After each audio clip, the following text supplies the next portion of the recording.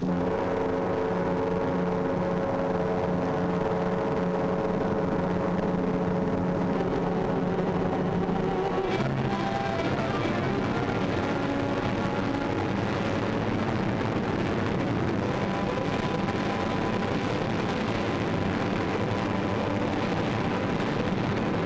picture is for you men who've not yet flown overseas. These are shots of our planes flying through flak over France and the Low Countries, over Germany and Italy, over Jap Islands in the South Pacific. It looks tough. It is tough. This is no attempt to minimize the danger of flak.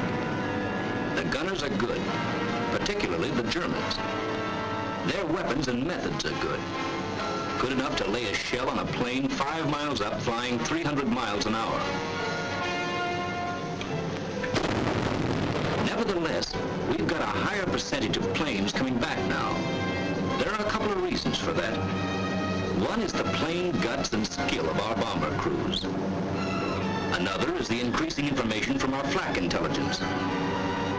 Bomber crews are forewarned as to what to expect, specifically. They're told, for instance, to begin taking evasive action three minutes off the enemy coast. It will consist of 20 degree changes in course made at least every 30 seconds and held for at least 10 seconds. Here, you are to gain a thousand feet in altitude. Arriving at your initial point, make a 90 degree change of course, lose a thousand feet, and continue evasive action until you start your bombing run. Positive statements? The men in this room prefer it that way. They've learned that a bomber formation can't just take flak as it comes. They know that these briefing room statements are based on a scientific study, and they understand why evasive action must be flown exactly as planned. So that those of you who do not know can get the same understanding, let's have a good look at this flak business. Enemy anti-aircraft weapons vary from heavy guns like the German 88 millimeter flak, the German 105 millimeter flak, the Japanese 75 millimeter, to small caliber automatic weapons like the German 20 millimeter or the Japanese 25 millimeter triple pom-pom. There's a great difference in methods of fire between the heavy gun and the small caliber automatic weapon. The heavy gun destroys aircraft by using a time-fused shell to put a large explosive burst in the near vicinity of the target. It must be, and is, accurate to high altitudes. The automatic weapon depends on a dense concentration of fire, flexibly controlled. Its shells explode when they actually hit the target. In heavy anti-aircraft fire, the problem of getting the necessary accuracy requires painstaking fire control. Let's see why. A heavy gun's shell takes roughly one second to climb 1,000 feet.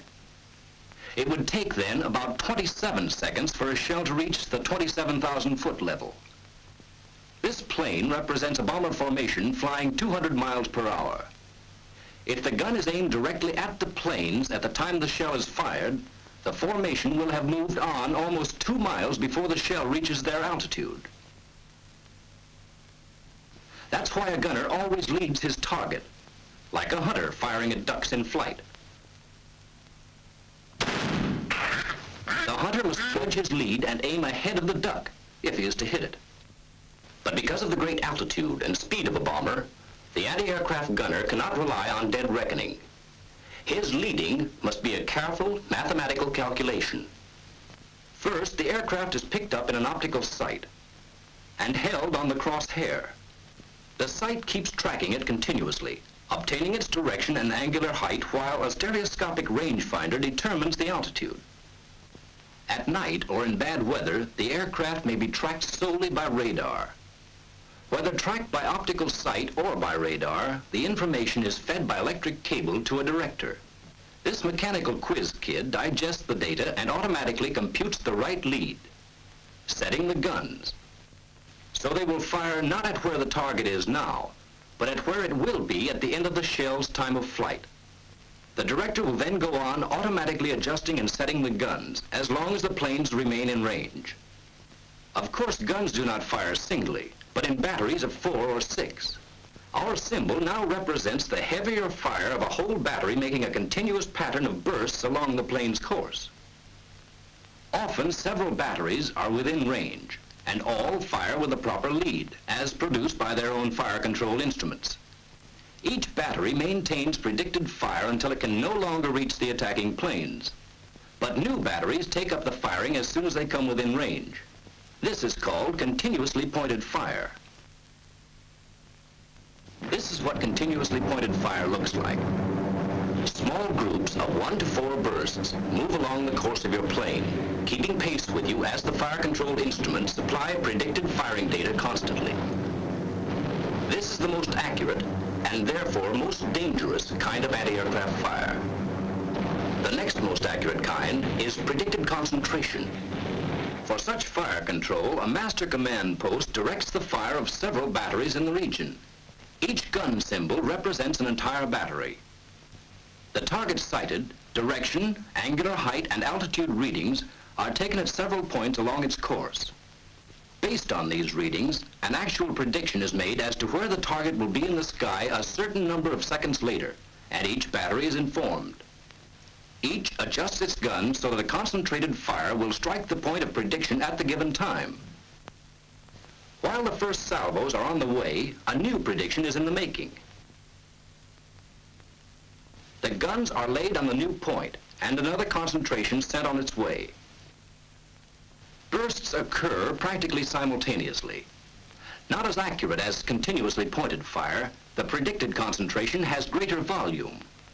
From the aircraft, predicted concentrations appear as groups of 10 or more bursts at spaced intervals of approximately 60 seconds. In contrast to continuously pointed fire, there will be flak-free spaces between successive concentrations of bursts. In both these kinds of fire, the gunner is up against his greatest weakness, prediction. His firing data can never be more than the assumed future course of the target.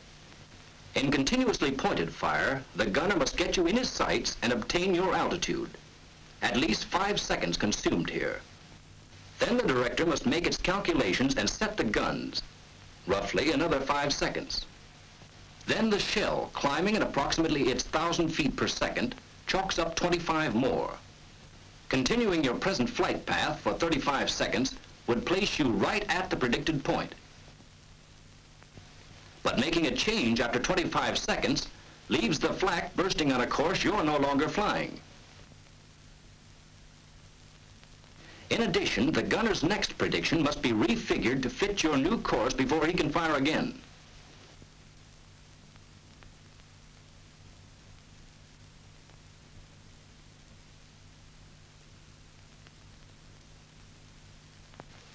In predicted concentrations, the gunner has an even longer time lapse to contend with. For plotting the target's course, 25 seconds. For making a prediction, 5 seconds. For the telephoning and actual setting of the guns of the various batteries, 10 more. Adding 25 seconds for approximate time of flight gives us a total of 65 seconds. However, by flying planned evasive action, that is a point you'll never reach. You can see from this that if you knew when to make changes and what changes to make, you could continuously defeat the predictions. Well, that's what flak intelligence has figured out. As a rule of the thumb on when to make changes, you're given this. Never fly one flight path for a greater number of seconds than you are up thousands of feet. In other words, flying at 30,000 feet, make a change at least every 30 seconds.